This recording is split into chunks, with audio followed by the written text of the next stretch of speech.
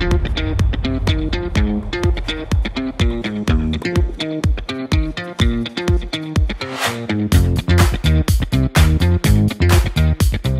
everyone, I'm Alessio Iannosi and I'm the new Director of Rackets at Lotus Boca Raton.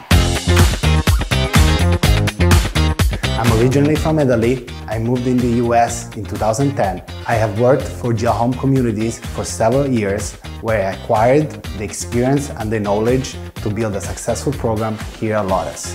Our staff is USPTA certified. We will be offering pickleball and tennis clinics every day of the week and we will create a brand new junior program open to all ages and levels. Our facility offers seven tennis clay courts, one tennis hard court, and six pickleball courts, and a beautiful pro shop.